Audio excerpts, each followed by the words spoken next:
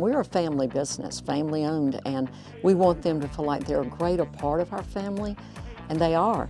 And we want to extend that help in any way we can, make things easy, provide them with every service that we can think of, because with that, they're going to know that we appreciate their business, they're going to know that we want them here, and especially knowing that I can meet and greet the women who come in with their boyfriends, husbands, and they want to feel part of this. We want them to come.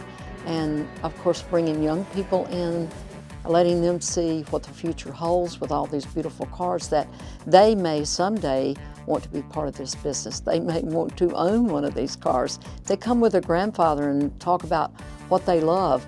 That means a lot to us because young people are going to make this business grow.